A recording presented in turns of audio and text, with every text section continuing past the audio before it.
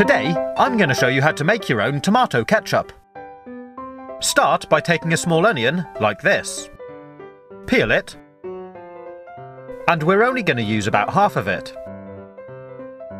Next, take some brown sugar and put one heaped tablespoon into a cup, like this.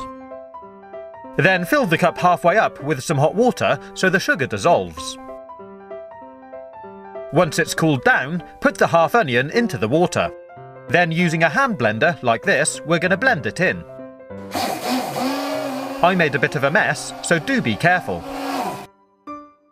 Make sure there's no big pieces of onion left.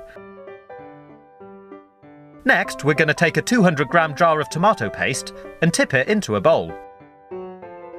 Then add a quarter of a teaspoon of ground cloves, another quarter teaspoon of ground cinnamon, a quarter spoon of salt, and half a teaspoon of mustard.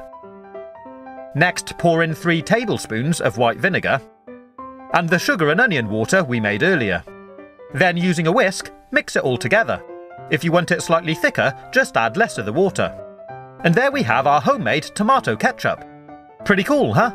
You can take an old sauce bottle and using a funnel, fill it back up.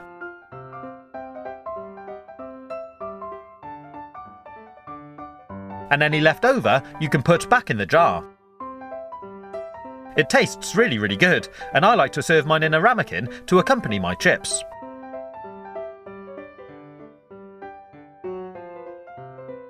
I hope you've enjoyed watching this video. If you want to see more, you can click on the links on the right hand side, or take a look at my YouTube channel page.